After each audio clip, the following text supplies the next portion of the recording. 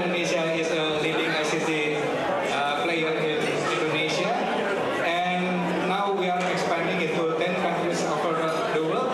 We hope that this Grand Stevie Award also can uh, motivate uh, us to uh, serve our